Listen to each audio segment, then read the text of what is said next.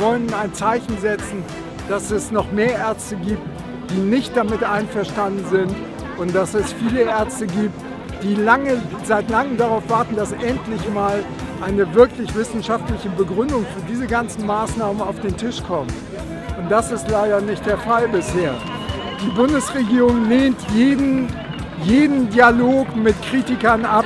Es ist unglaublich. Ich habe einige Kollegen gefragt, die diese Maßnahmen für gut heißen, was denn der PCR-Test ist, was die sich unter dem PCR-Test vorstellen, wie funktioniert der überhaupt.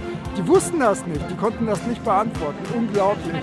Ich kann wirklich nur alle Kollegen dazu aufrufen, sich wirklich mal eingehend damit zu befassen, auch die kritischen Stimmen anzuhören und sich dann ihr Bild zu machen und nicht einfach das Futter, das man ihnen zum Fraß vorwirft, zu, zu fressen und dann den anderen Leuten nach dem Mund zu reden. Mein Name ist Pierre Moubaye und ja, ich bin Augenarzt. Mein Name ist Klaus Brecken, ich bin Facharzt für Chirurgie und Facharzt für Allgemeinmedizin. Ich stehe hier in Leipzig für die Menschheitsfamilie, insbesondere für die Schwachen in unserer Gesellschaft, unsere alten Mitmenschen und unsere Kinder.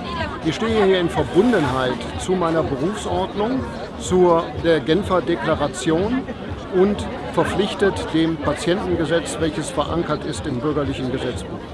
Ich sehe meinen Beruf in großer Gefahr, weil wir vom Staat gezwungen werden, Handlungen, Maßnahmen zu ergreifen, die nichts mit dem Arzt-Patienten-Verhältnis zu tun haben. Der Staat hat sich um Gerechtigkeit zu kümmern, Ärzte haben sich um die Patienten zu kümmern. Und wenn wir gezwungen werden, Verordnungen durchzusetzen, dann stellt sich etwas zwischen uns und den Patienten. Und zu mir kommen viele Patienten jetzt, die nie bei mir waren, aber die entsetzt sind über ihre Ärzte, die plötzlich mutiert sind von Ärzten zu Richtern, die jetzt nicht mehr das Wohl ihres Patienten im Auge haben, sondern Verordnungen. Und das ist eine Katastrophe. Facharzt für Allgemeinmedizin, Thomas Kühlken. Letztendlich äh, wird der Kampf im Körper über das Immunsystem entschieden. Und daran sollten wir arbeiten und denken. Alleine die Tatsache, dass im April, Mai 90 Prozent aller geplanten Operationen nicht stattgefunden haben hier in Deutschland, dass wir das mit unserem beruflichen Ethos nicht vereinbaren können. Und wir sind auch hier, weil wir zeigen möchten, dass, dass es nicht nur ein, zwei, drei, vier Ärzte, die so in der Öffentlichkeit sehr präsent sind, sondern es gibt unheimlich viele Ärzte, die genauso denken, sind bloß noch nicht an die Öffentlichkeit getreten, nicht zuletzt, weil sie mittlerweile auch Angst haben. Und dieses Klima der Angst ist auch ein ganz, ganz übler Beigeschmack. Ich meine, wenn unsere Bundesregierung oder wenn Einzelne aus der Regierung dazu aufrufen, dass Ärzte die kritische Meinung äußern, in der, ja, dass die, dass die von, aus der Bevölkerung heraus irgendwo angesperrt werden sollen, angezeigt werden sollen. Solche Maßnahmen kennt man eigentlich von totalitären Regimes und nicht von irgendeiner Demokratie. Und ich frage mich, was die Politiker sich dabei denken. Und das ist der Grund, warum wir hier sind.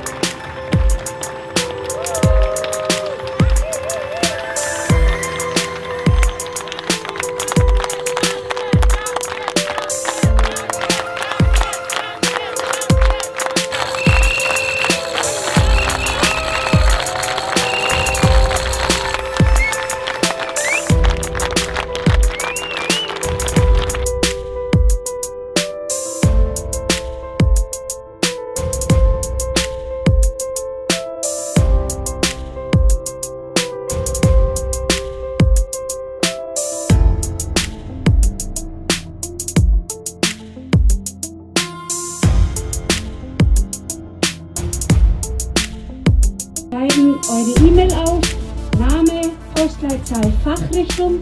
Dann schreiben wir Ihren Namen unter diesen offenen Brief an die Kanzlerin. Und er soll übermorgen am Montag, den 9.11. abgeschickt werden. Die Zeit drängt. Unterschrieben von Hunderten von Ärzten. Danke.